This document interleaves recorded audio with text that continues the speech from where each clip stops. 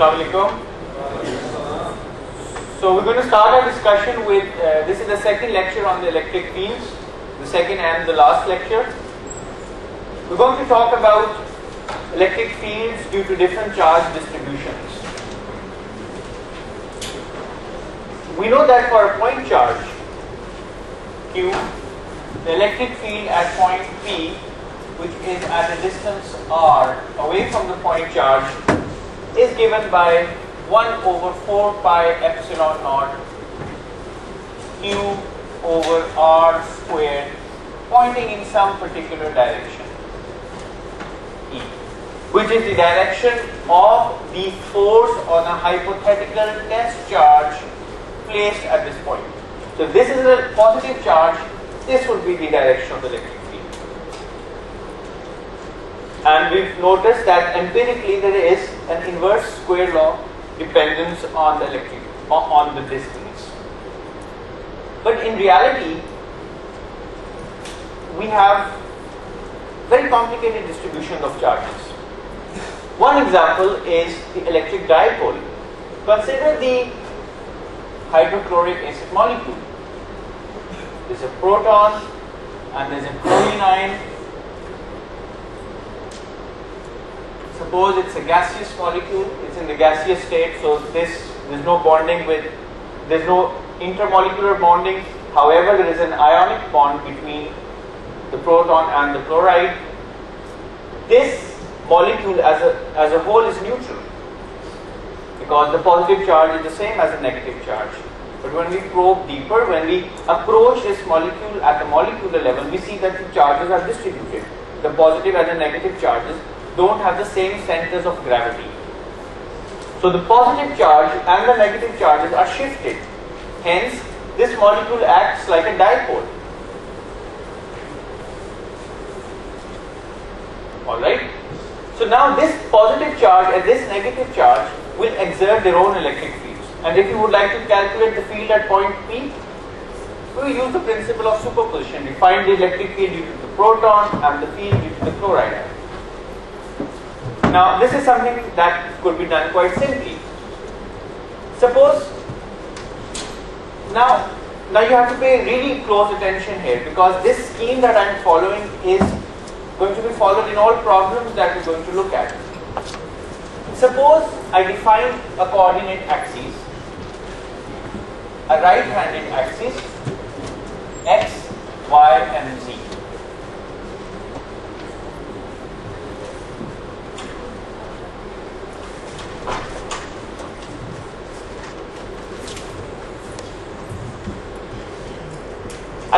Place my dipole or molecule along the y-axis. I have a positive charge and a negative charge. And the separation between these charges is, suppose I call it S. Now this is a positive charge or let's fix this. This is a positive charge, this is a negative charge. Plus Q minus Q. This could be the hydrochloric acid molecule or even a water molecule. Because a water molecule is a polar molecule, the hydrogen and the oxygens have different electronegativities, so there is charge separation. So this, it's just like a tiny dipole and we would like to find out the field due to point P which is at a certain distance from this dipole. Suppose I, this is my y-axis, I choose this location to be y equals 0 this would be y equals s and I suppose that this location is let's call it y naught. Now the principle of superposition simply dictates that I can find the field due to this charge and the field due to this charge separately. So the net field okay but the field is a vector so I have to find out the position the directions the field due to this charge is along the plus y-axis and the field due to this charge is along the negative y-axis. Both of them are anti-parallel. So the field due to the plus charge is at point P is in this direction. Let's call it E1. It's a vector. the field due to the negative charge is antiparallel. It's pointing towards this charge. Okay? So it's going to point in this direction and the field will be higher, slightly higher because this charge is closer to the crest point and there is a 1 over r square dependence. So this is the field due to the negative charge E2. And the net field is going to be the vector sum of these fields E1 plus E2.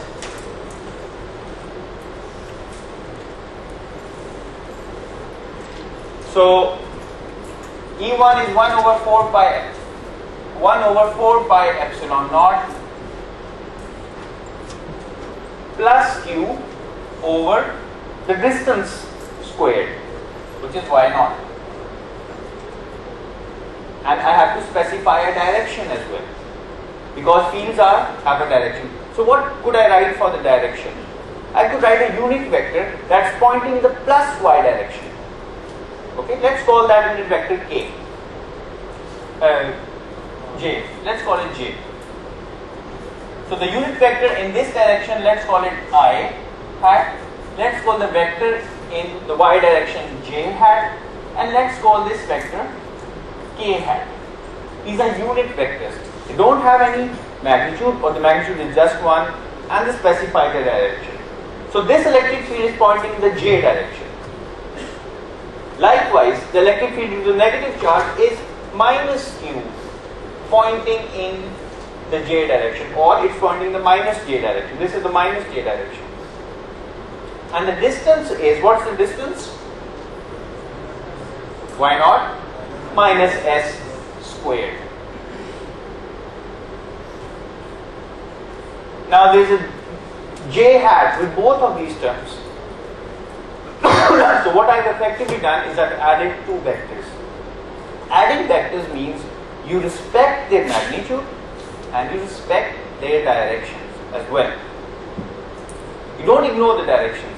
A vector is defined by the magnitude and the direction. So the net electric field at point P due to this dipole is simply going to be 1 over 4 pi epsilon naught. I can put a q here. I can take the unit vector outside the bracket 1 over y naught squared minus 1 over y naught minus s squared.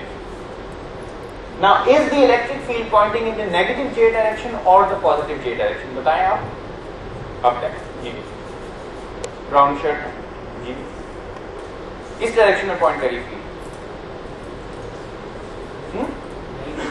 negative j direction which means that this should be negative and indeed it is negative because y minus s is smaller than y this term is greater than this term, you're subtracting a large term from a smaller term, you get a negative. Uh, negative G.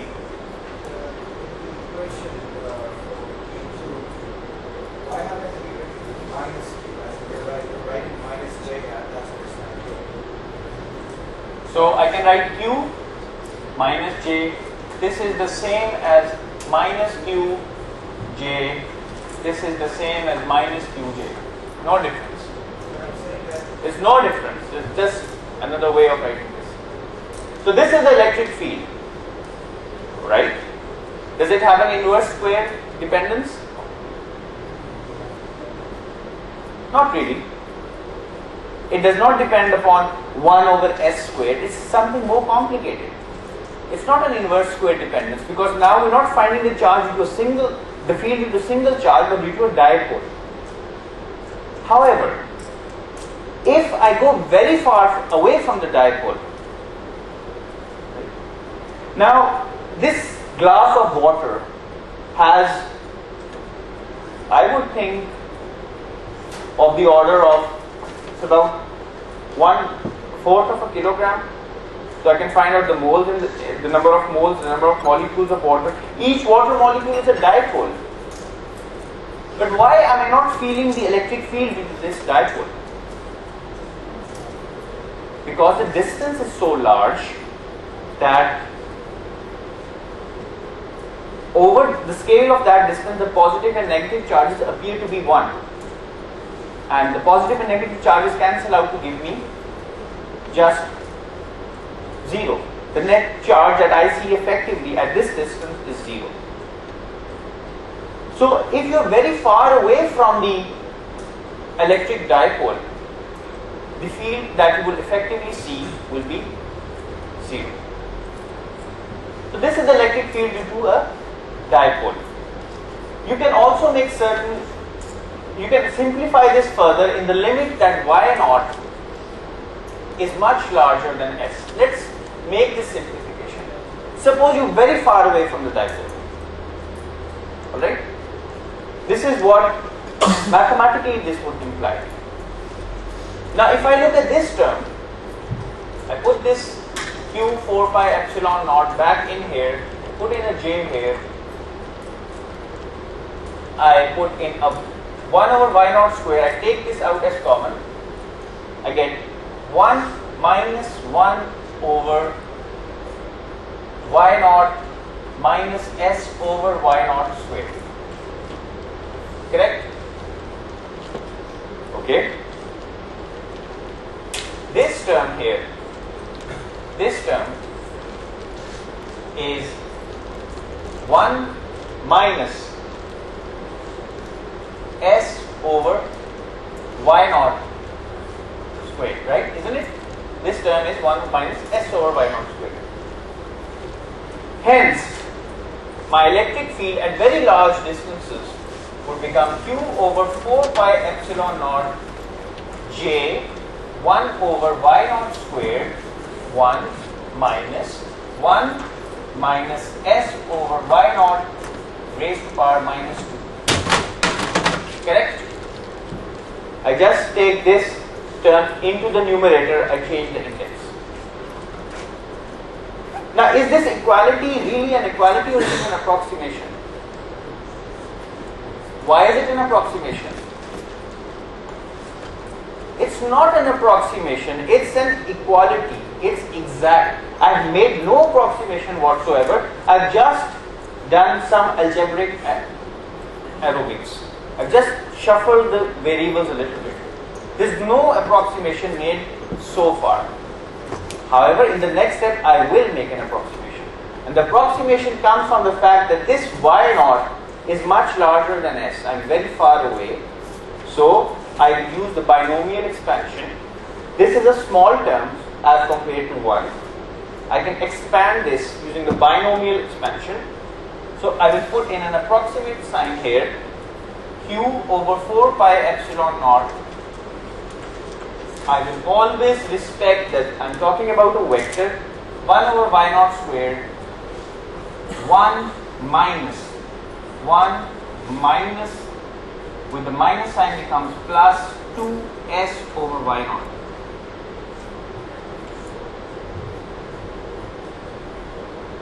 Plus there will be other terms which will be the second power f I saw by naught, third power. But this is just an approximation, I am taking the lowest order term. I hope all of you have seen the binomial expansion before. Anyone who doesn't know the binomial expansion? घबराने की बात नहीं बता दें मैं बता दूंगा मैं इसीलिए खड़ा हूं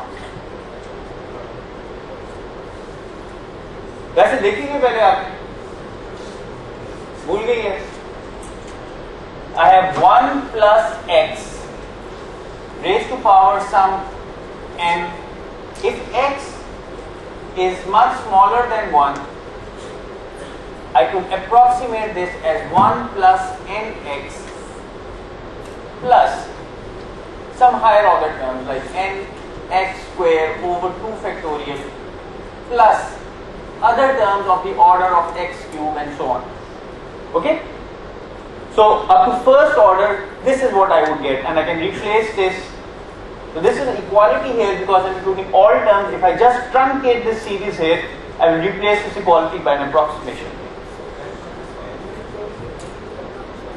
Oh sorry, sorry.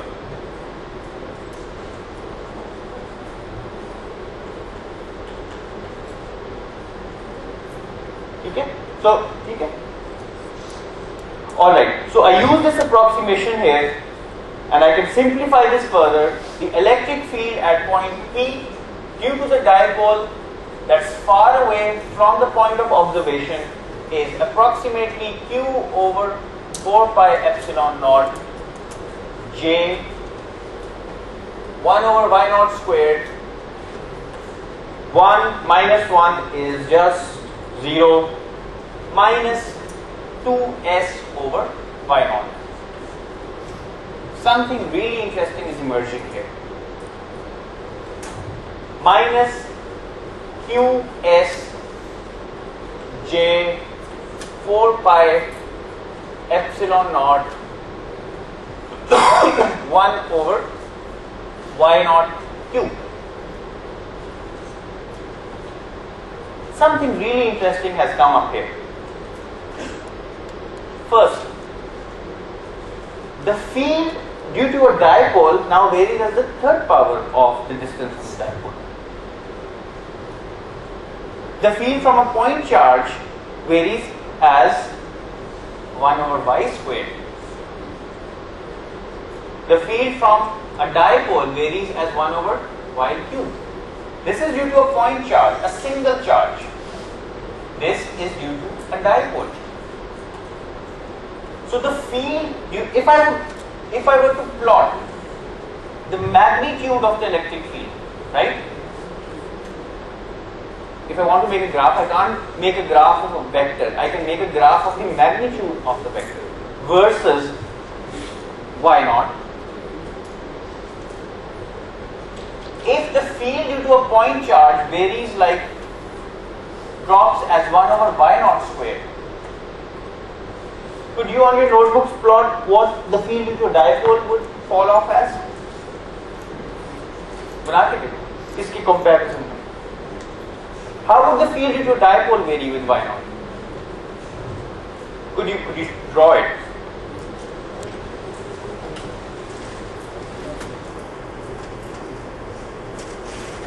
Much sharper, good.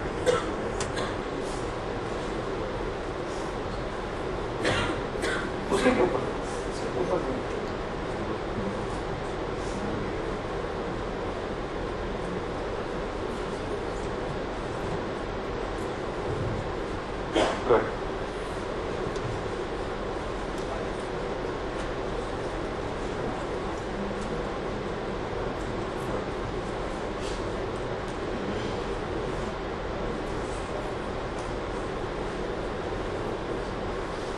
आपकी कागज़, कलम, कुछ नहीं। जहन भी लिखे हैं सब। कुछ इसका समझ नहीं आएगी आपको।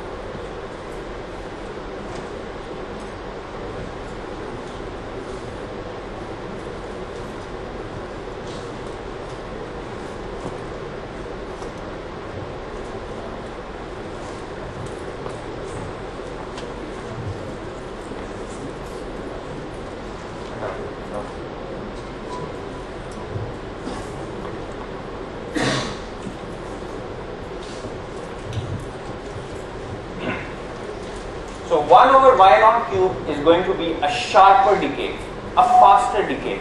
So the field due to an electric dipole will drop much faster than a field due to the point charge. This dependence is 1 over y naught cube. Okay? So the field due to a dipole will decay much sharper, but it's a, it's a decay which is described by the third power of the distance, not by the second power. So you just add another charge to an existing charge to create a dipole. The, how the electric field changes? Changes drastically. Alright? Now, uh, if I were to find the electric field due to a dipole, but at a different location, for example, I want to find the electric field somewhere here. The problem would exactly be solved in an identical fashion but the result would be different. And notice another observation. Make another observation. This Q and this S, they appear together.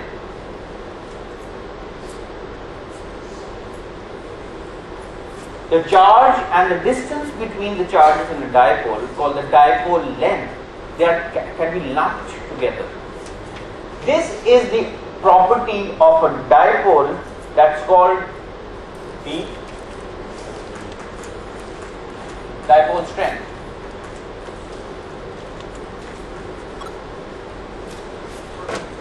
This product is called the dipole strength. This is the strength of the dipole. The charge and the distance between the two charges. And it's a vector It's generally defined to be a vector. I would denote this vector by small p, q, s, and this vector of course has a certain direction. I would like to call that direction say s hat. देखो यहाँ vector होगा तो on the right hand side I need to put in some unit vector और something that imparts a vectorial property to this side. So this is the unit vector. It doesn't have, its magnitude is 1, it just tells you what the direction is of this dipole. And generally you define the direction of a dipole to point from the negative to the positive charge.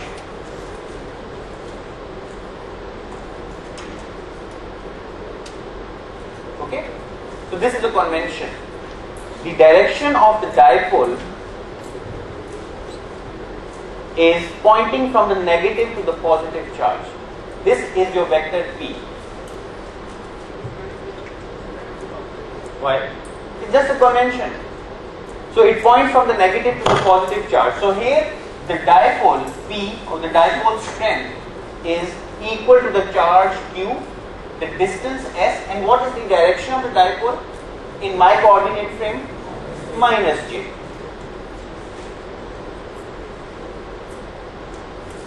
Okay. So this Qs with this minus J becomes P. So I can write the electric field at my point of interest as 2 times the dipole strength P 4 pi epsilon naught y naught q. It's also called the dipole moment. In chemistry, it's called the dipole strength generally. It's also called the dipole moment.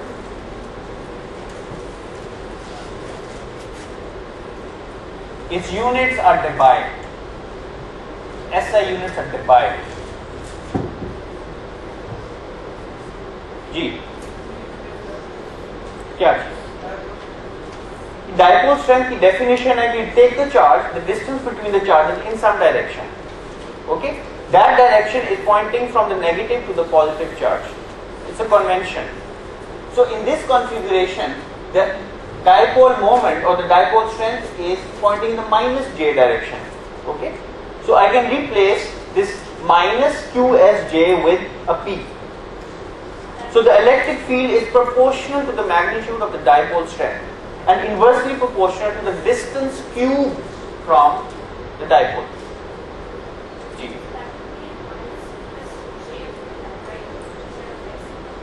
Right, so this is a general definition. If I would like to make this the x-axis, I will call it minus 2si.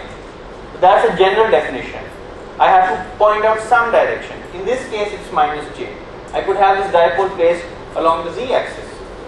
Then it would be minus qsk. But this is something general that I can ठीक है कोई सवाल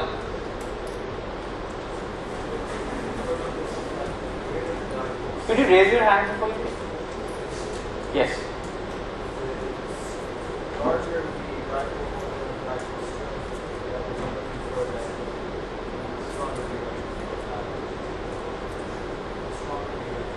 Yeah. So the remember the electric field varies as the cube of the distance. So the electric field due to dipole drops off much sharper, sharply.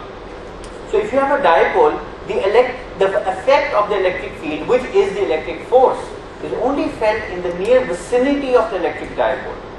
You move away from the electric dipole, the field falls off very sharply. So the, you do not feel the electric forces due to an electric dipole quite easily. You have to approach the electric dipole to a very small distances so that you can feel the electric force. Now you can have different configurations. You can have I,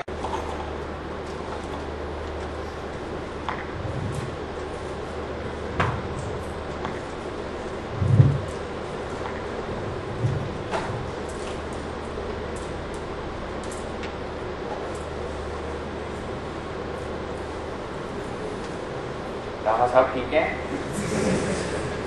Alright, so look at this positive charge. This is my test point. I want to find the electric field here. Now, this charge will exert an electric force or it will produce an electric field at this point in a certain direction. Now, this direction will simply be determined by the line that joins this charge with this point. So, I draw a straight line and this will be the direction of the electric it's just along the line that joins this point with the charge. Likewise, this charge will produce its own electric field. What's going to be the direction? Downwards, pointing towards this charge. Now you have two electric fields that are not parallel to one another. So the vector addition becomes more prominent here. Now could you tell me what the net electric field would point, what direction would it point in? It would point in the plus y direction.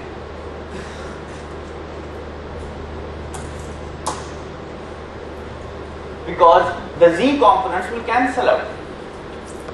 Why is that the case? Because this distance is the same as this distance. Therefore, the magnitude of the electric field due to this charge is going to be the same as this charge. Therefore, the z components will cancel out.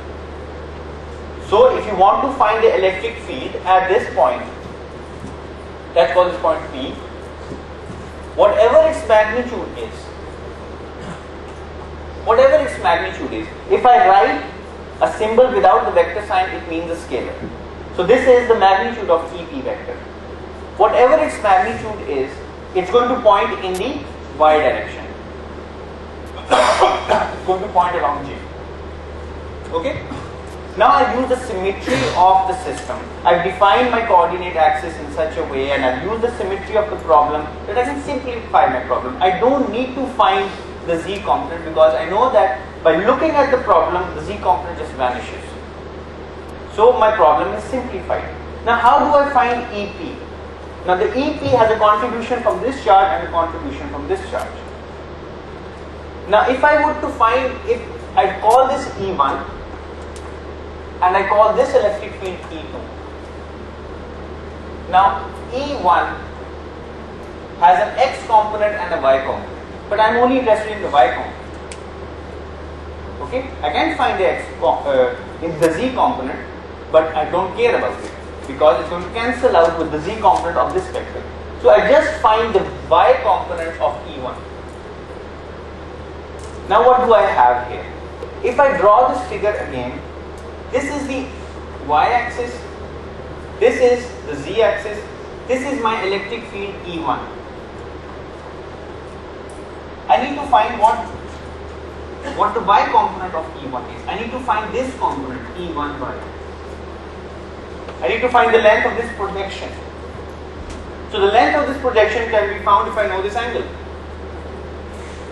So this E1y will be equal to the magnitude of this vector E1 into cosine theta. But do I know theta here? This is the angle theta. Yes, I know what the angle theta is. Do I? Yes, it is. So if this distance is z naught, what is this distance? This is half the dipole length. This is s by 2.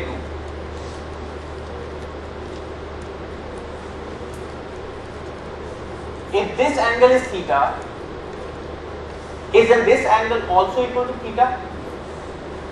Yes, it is. Alright? So cosine theta, what's the length of this side of the triangle? It's z naught squared plus s by 2 squared under root. So now the problem is simplified. I have a triangle this is Z naught. This is S by 2. this angle is theta. Why is this angle theta? Because I have defined my angle theta to be this angle. This angle is the same as this angle. So this is just an extension of this hypotenuse. Therefore, this length is the hy- hypotenuse length. It becomes z naught squared plus s by 2 squared under root. And if I would like to find out what cosine theta is, cosine theta is simply s by 2 divided by this length z naught squared plus s by 2 squared under root. And what is my E1y? My E1y is my E1 into cosine theta. What is E1? E1, I already know. Now I'm talking about magnitude, so I'm not putting in a vectorial sign here. E1 is 1 over 4 pi epsilon naught. This charge, which is Q, divided by the square of this distance, the square of this distance, right? Which is simply the square of this hypotenuse, which is z naught squared plus s by 2 squared. The- With the under root squared is, I square this, right? And now I have to multiply it with cosine theta. Cosine theta is s by 2 z naught squared plus s by 2 squared under root. So my overall field, the E1y,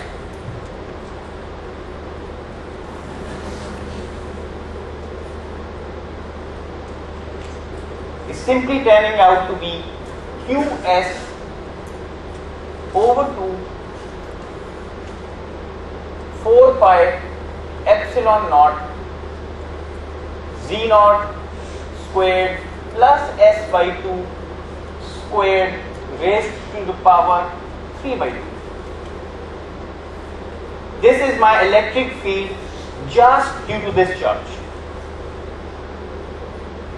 What will be the y component of the electric field due to the second charge? What will be its magnitude? क्या होगा क्या होगा magnitude इसका same it's going to be the same why is it going to be the same because this distance is the same I am along the perpendicular bisector of the dipole. This distance is the same. Its direction is the same. The magnitude is the same. So this e2y is equal to e1y I don't have to solve the problem again. I invoke the symmetry in inside the configuration of charges.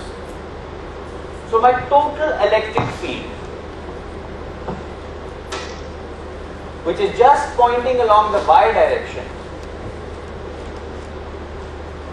is the sum of E1y and E2y. So it's twice of this.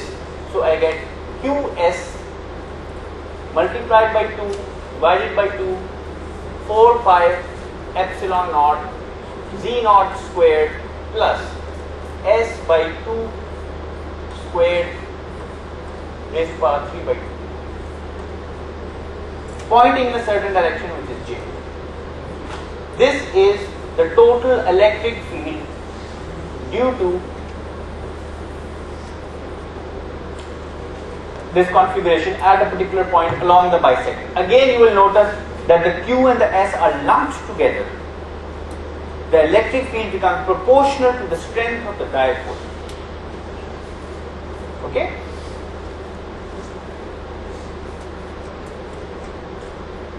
If I notice that the square or the cube dependence has gone away.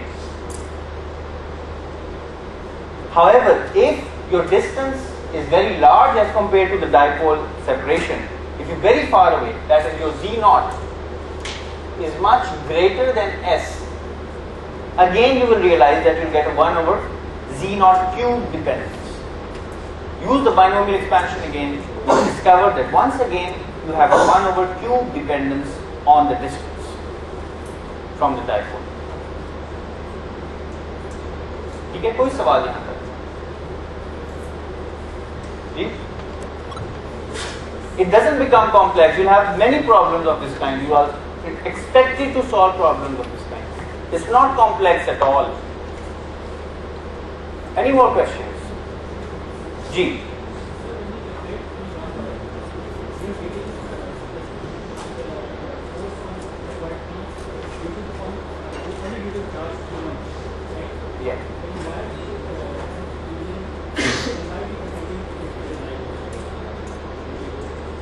So you want to find the electric field due to this dipole.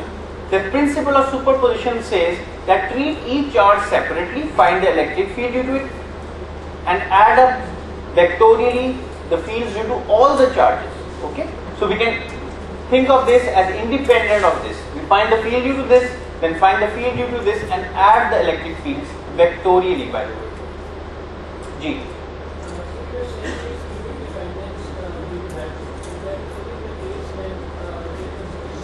Right. Right. Right. When when this is an exact expression, you can plot what Ey will look like with respect to Z naught. When this condition is not satisfied, you can just plot this. It's not going to be a 1 over cube dependence, but there will be some dependence which you can plot. You can plug in these values into MATLAB and plot what the dependence could look like. Yes, so let's move on a little bit.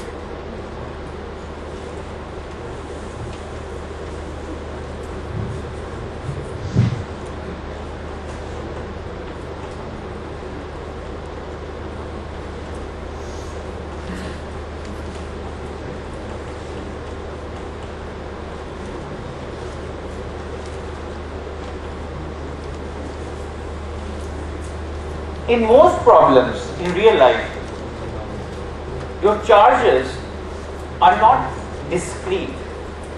For example, you can have this table and you can charge it and the charge will spread on the table. You can have a metal piece, the charge can spread on the metal piece. So you can have examples of charges that are distributed.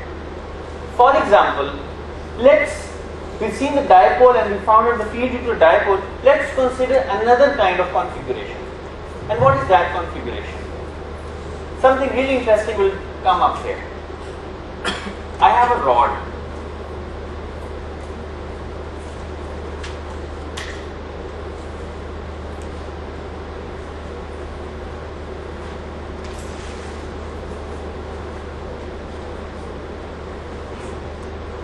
I use the same coordinate axis x, y and z. This is a right-handed coordinate frame. If I have my thumb, uh, if I have my fingers pointing in the x direction, I turn towards y, the thumb points in the z direction. So it's a right-handed coordinate frame that I will choose throughout this course. I have a rod of a certain length, capital L. Now this rod is such that it has a length, but it doesn't have any width or thickness. It's a one dimensional rod and it carries a charge Q, capital Q. But where is this charge on the rod? That's the question. This charge, suppose, is evenly distributed along the length.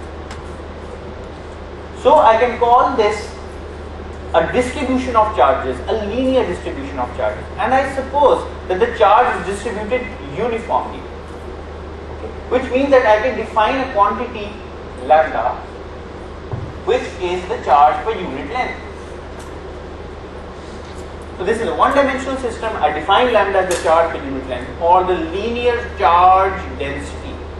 The charge density, but linear. If I have an area, I can also have an area. If the charge is distributed uniformly on this area, I can define Q over A. I call it the surface charge density and I denote it by sigma. Surface or the areal charge density. This is the linear, this is the areal charge density. If I have some volume, a three-dimensional volume of volume V and it has charge Q, I can divide the charge by the total volume if the charge is uniformly distributed and this is denoted by rho and called the volume charge density. Okay? So there are three different examples that we will look at throughout this course. Linear, areal and volume charge densities. But let's focus for the time being on this problem. Let me draw this rod again.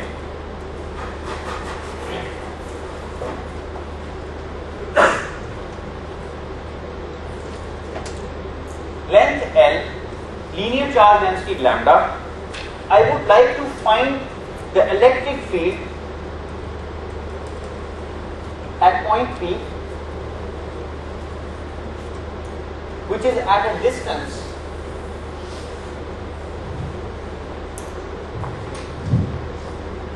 y naught from the further end of the rod. And this rod is along a straight line and P is along the same straight line. So it's along the axis of the rod.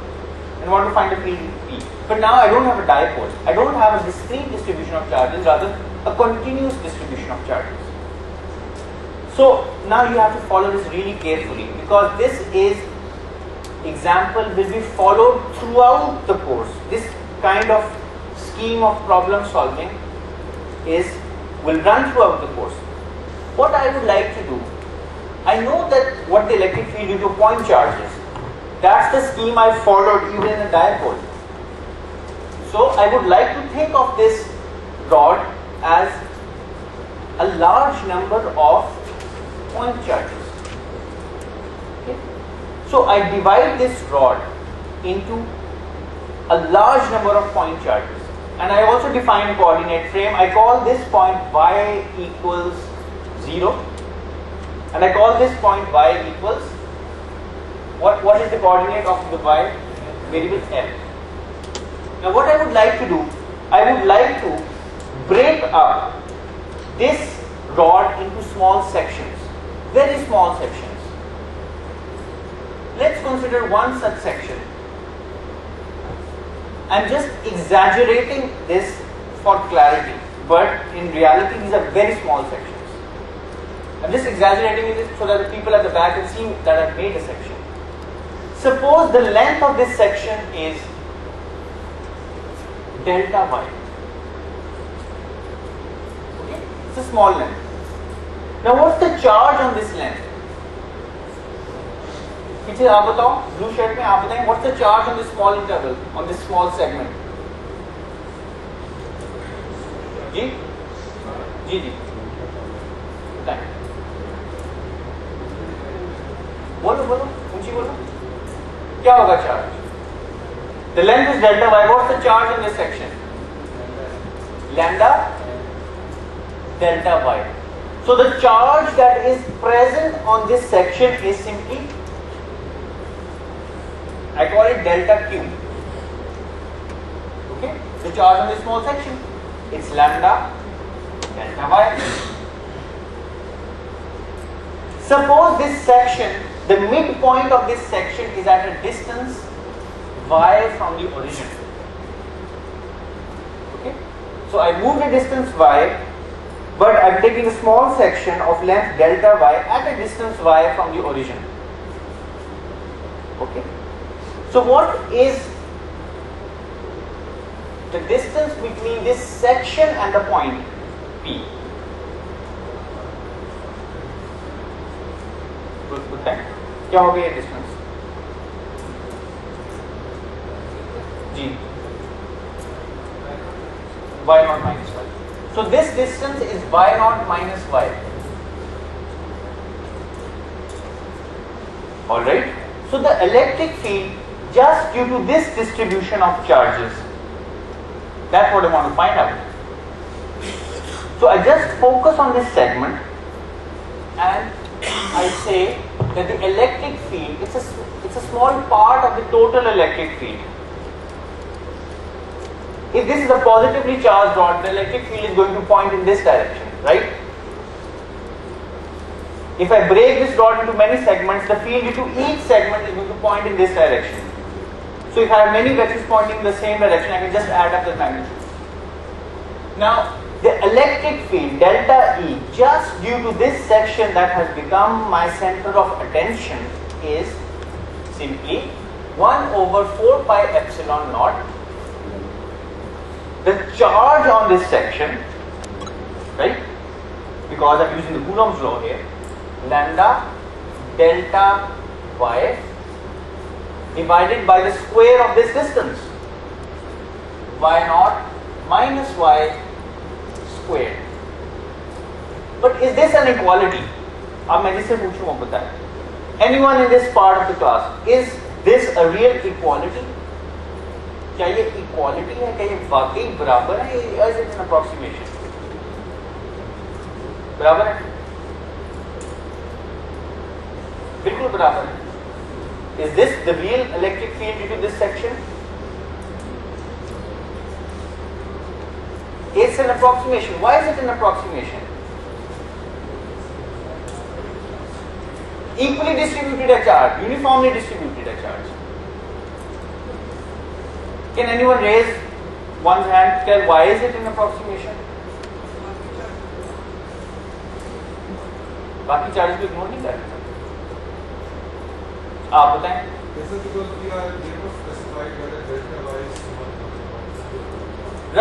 because we are never specified whether delta y is small or small. right because this delta y is not is finite ये एक length है so if I ask you what's the distance of the point from this segment you can take the distance from the midpoint you can take the distance from the extremities of this section you can take the distance between P and this point this point this point this point this point so what is the real distance you're using you're using just the distance between the point P and the midpoint of this section Okay? So this is an approximation. If this section is small, your approximation is better.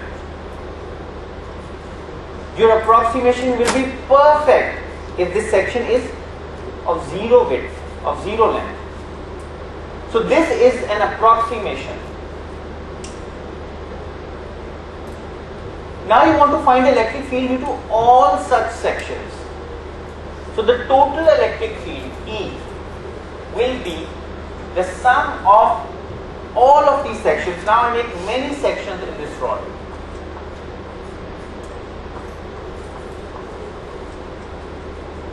And I label these sections as 1, 2, 3, 100, 500 and so on.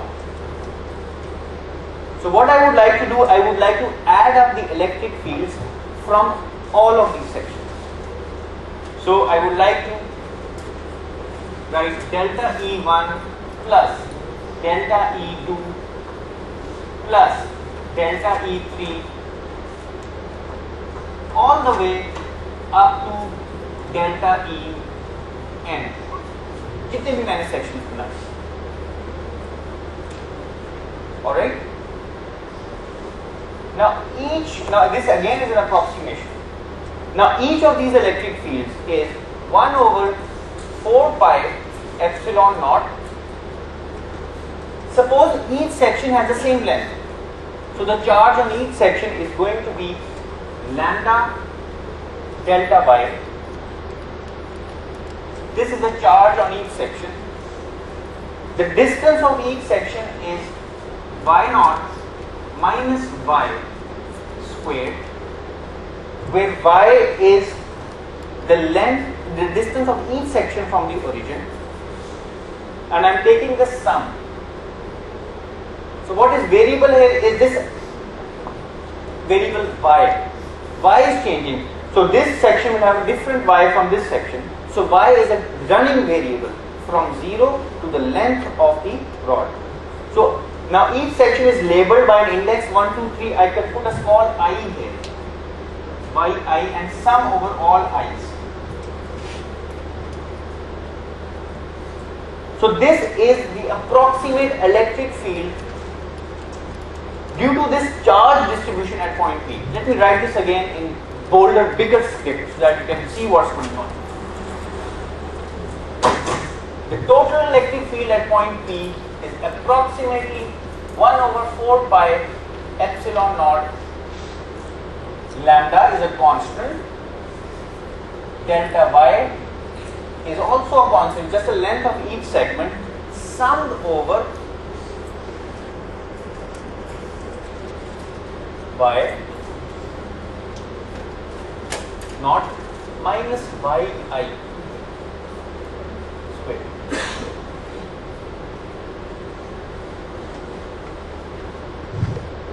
I can put this delta y inside, doesn't really matter. Okay?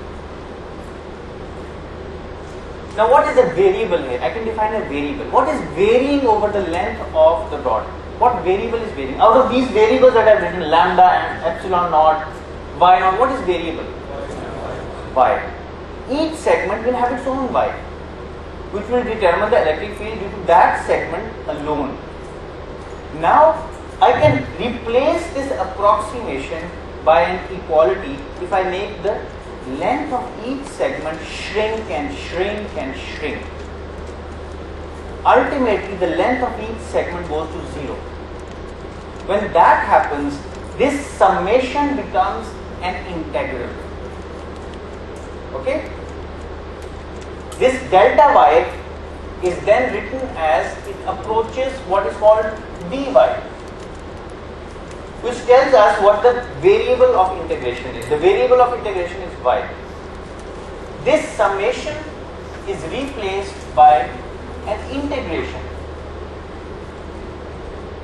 And this approximation becomes exact. So I have 1 over 4 pi epsilon naught lambda this summation is replaced by the integration dy y naught instead of y i, I can write just the variable y because it's varying, it's continuous, it's a running variable. I don't have to put in an i here. It's understood. Y naught minus y squared? And I can define impose limits on the integration. Now y is my running variable, it's a one-dimensional problem, I just have one variable, so I can define the limits for y. What are the limits for y? From 0 to 10.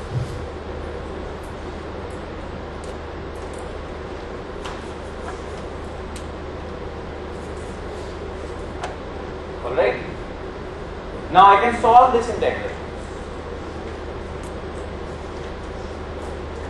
How can I solve this integral? You can look up a table you can perform the integration in some uh, computational software or you could do it by hand. In this course, we'll do these integrations by hand. Does anyone know how to solve this integral? You studied this in calculus 1, haven't you? कोई कर सकते हैं इसको solve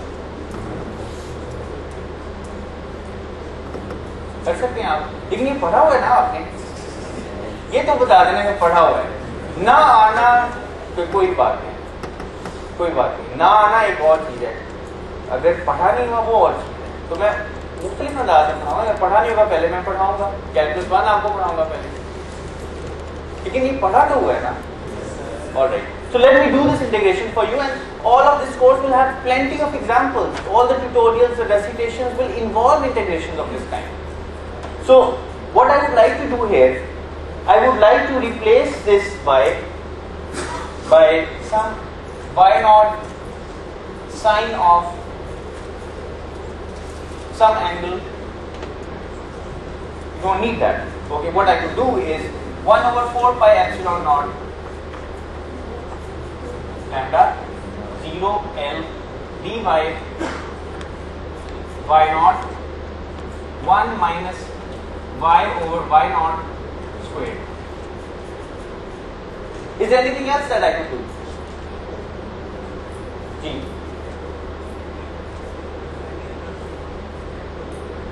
Right. What you could do here is you could replace this y minus y naught by z or some, let's call it beta.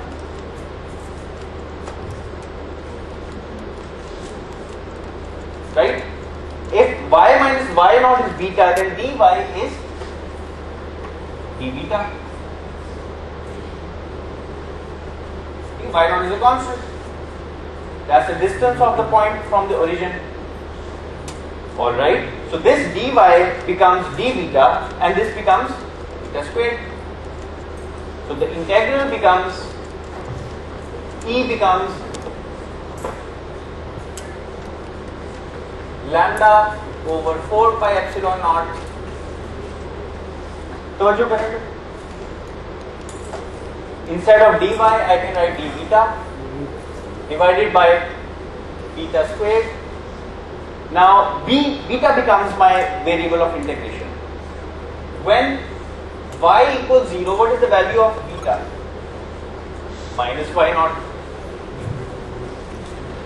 And when y becomes equal to L, what is beta? It's L minus y naught. Okay. So this is lambda 4 pi epsilon naught beta minus 2 d beta from minus y naught L minus y naught.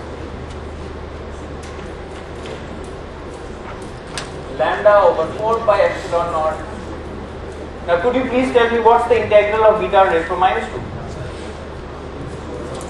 क्या क्या? Sorry?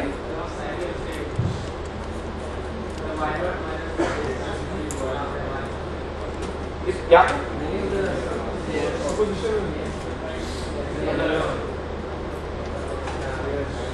Alright?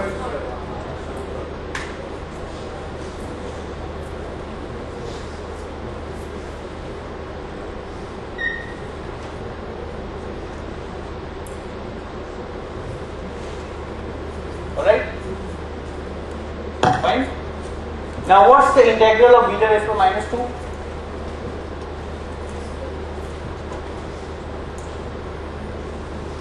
क्या है इसका integral क्या है? इसका integral तो बता दे मुझे। इसका इंटेग्रल इसका क्या आंसर आएगा? Minus one over beta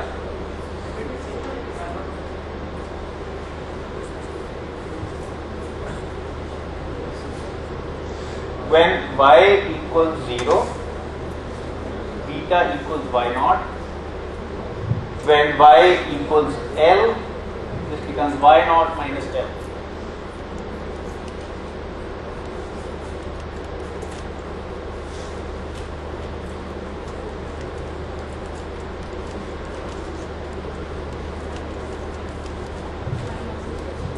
Alright?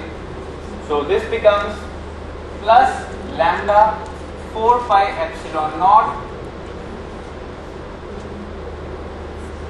1 over y naught minus L minus 1 over y naught. This is the electric field due to the rod, due to the charge rod and if you would like to put a, in a sign here representing the vectorial nature, it's pointing in the j direction.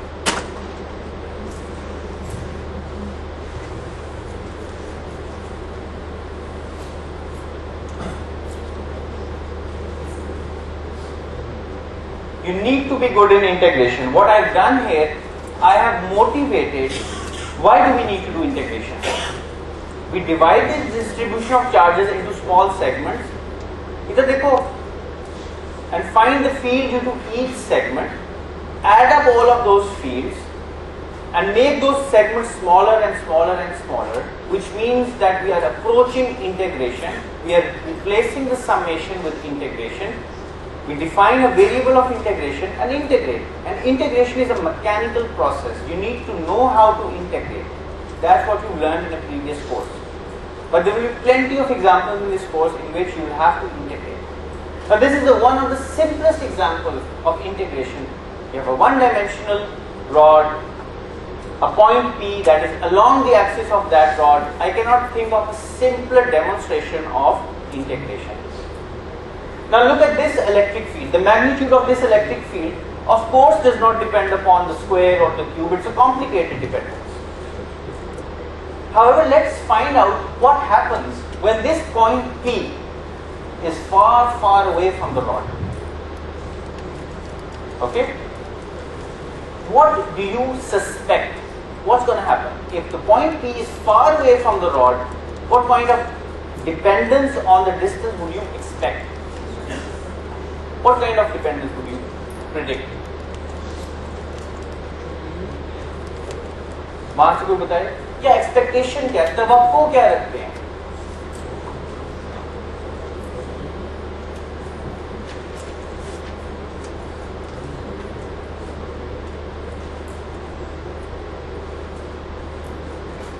अगर आपके पास एक charge object 80 charges, it's no dipole, it's just one charge, it's a sheet of charge. And you move away and away and away from that sheet of charge. When you approach very long distances, what would that sheet of charge look like? A point charge. So if you're really far away from this distributed charge, it will start looking like a point charge. And the dependence is expected to be 1 over y naught squared. Let's see if that really works out. So now we are in the limit that y naught is much larger than L. Okay? So I'm just talking about the magnitude E is lambda over 4 pi epsilon naught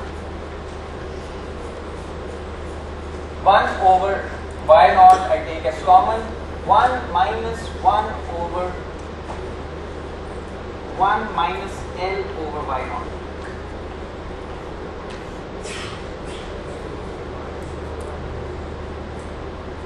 I just changed uh, put in minus.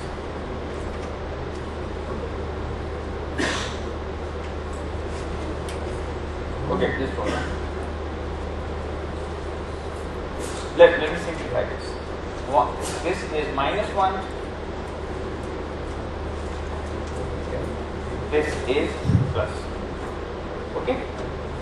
So this becomes lambda over 4 pi epsilon naught 1 over y naught minus 1.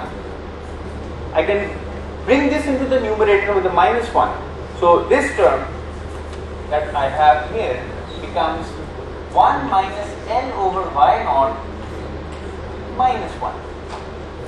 Okay. So I put this plus sign goes here. I expand this binomially. I get 1 plus L over y naught, and this becomes an approximation because I truncated the series and ignored higher order terms because this y naught is much larger than L, so this is small term. Its higher powers will be even smaller. Now this one cancels out with this and what I'm left with is, let me write this here, total electric field at distances y naught much larger than L turns out to be lambda over 4 pi epsilon naught y naught squared and it's L here.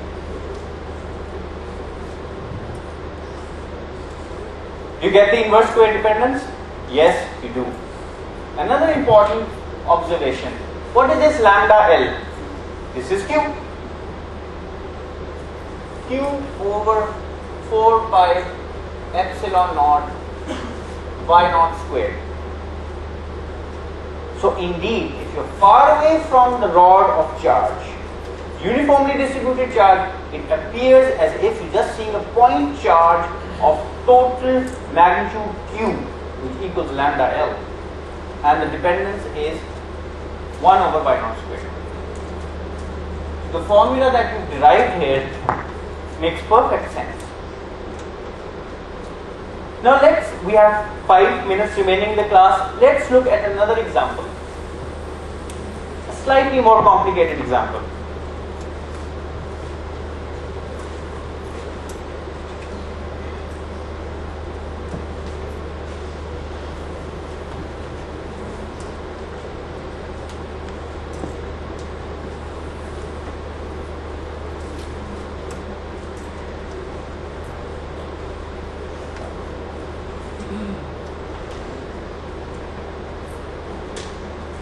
So now I have a disk. This disk is two dimensional, right? It has an area, not a length, it has an area. And there's a charge q on this disk which is uniformly distributed so that the areal or the surface charge density is sigma. The area of this disk is A. The radius of this disk is capital R. Okay? and it's placed vertically like this and I want to find the field at point P which is at a certain distance let's call this R from okay, let's not call it R, let's call it Y naught. Which is at a distance Y naught from the center of the disk and it's along the axis of the disk. Okay? First question. The question is that we want to find the electric field at point P due to this charge distribution. Now it's not a one dimensional problem, it's a two dimensional problem because we're talking about areas and planes. First question is, can we look for some symmetry in this problem so that we can simplify our lives a little bit and can you predict what the direction of the electric field is going to be? So can you raise your hands and tell me easily if you can find out what the electric field's direction is going to be? This direction of electric field? It's a positively charged disk. Yes? किस direction में होगी field? Ji. It's going to be along the positive y direction, in this direction. Why is that the case? This disk, if you look at it, is made up of many rings. I draw one such ring here.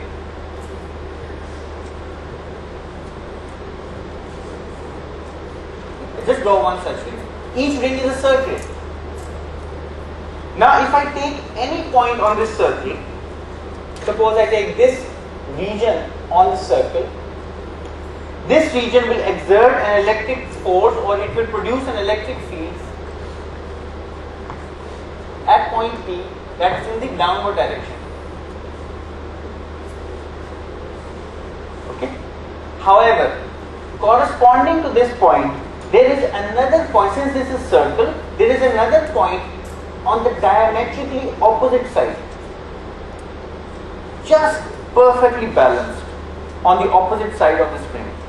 This section of charge will produce its own electric field.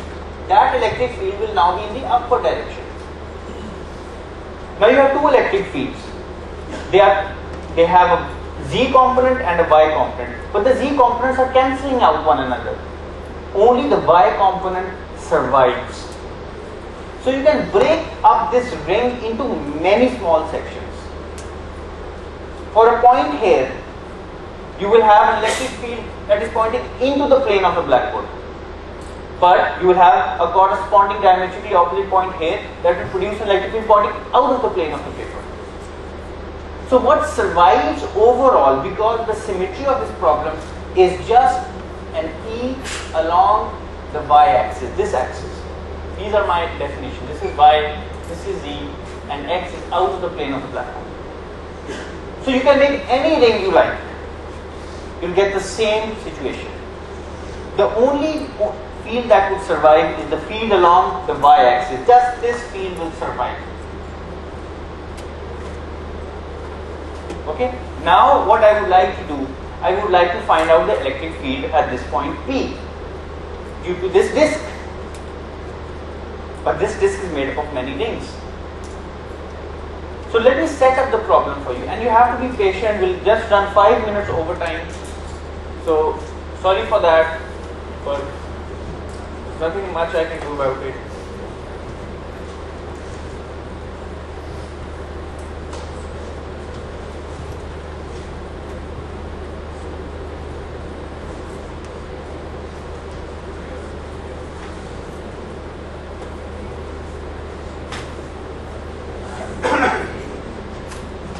We'll solve some problems in Monday's recitation. It's going to be recitation on Monday. One of our brightest physics graduates is going to take that recitation.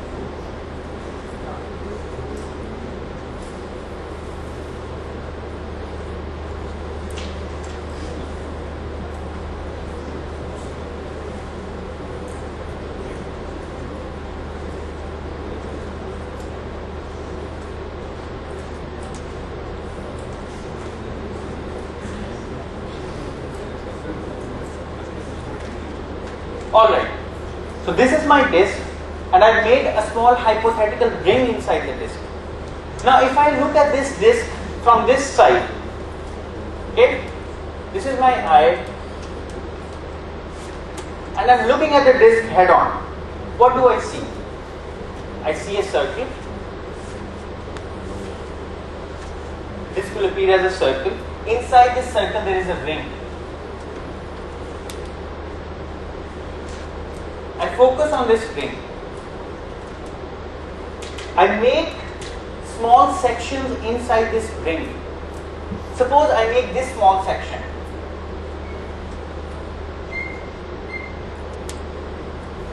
Okay. Now I draw close up of this section.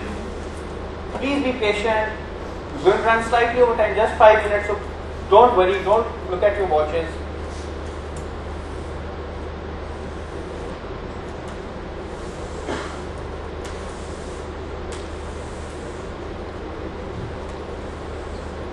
Now this is a close-up of this ring and this is the section I'm talking about. There's some charge on this section. Okay?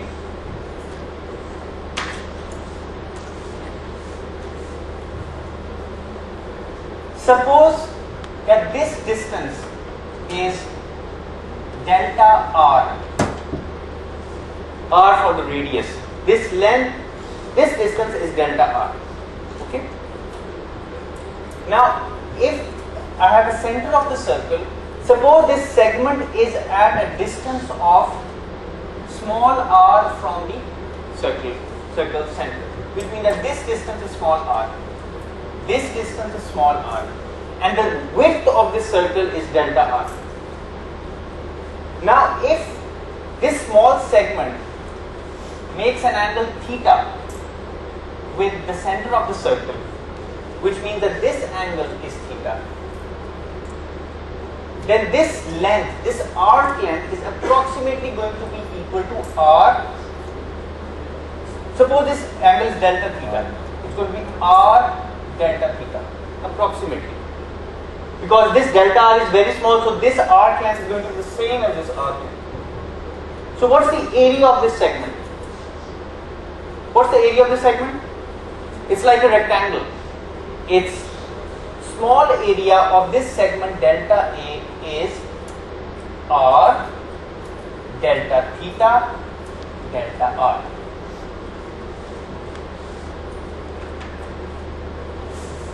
Right? Just like a rectangle. You multiply this length by this length. R delta theta into delta R. So you've calculated the area of this small segment which is shown in pink here which is also shown in pink here. So what's the charge on this small area? The charge on this small area, delta Q, is going to be this area multiplied by the charge density, sigma R delta theta delta R. Now I would like to find the electric field at this point due to this small segment. Okay? And I'm only interested in the y component of the electric field. So what I want to find, this is the electric field in this component, I'm only interested in the y component. Right? Because this component will be cancelled out by some other section. I call this angle beta. Let's call this angle beta. Okay? Now can you tell me what this angle is going to be? I draw a triangle. I extend this line back here.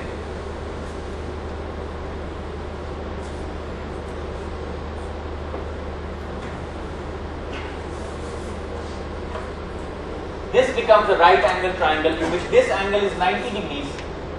This distance is r. This distance is y naught. This angle is beta so this angle is also beta. So the electric field E, the y component of the electric field due to our small section shown in pink, the pink section is simply the charge on this section delta q divided by 4 pi epsilon naught into the square of this distance, right? And what is this distance? It's simply r squared plus y naught squared under root squared becomes right the square of an under root is just this number into cosine of the angle beta because this component is just the this component multiplied by the cosine of the angle now what is delta q? Delta q is sigma r delta theta delta r 4 pi epsilon naught. I'll, I'll write this later. What what is cosine beta the cosine beta you can observe here equals y naught divided by r naught squared plus r squared plus y naught squared under root. So I can put in this value of cosine beta, I put in a y naught here and this term is multiplied by this term to give me r squared plus y naught squared raised power 3 by 2. Of course, this is just an approximation.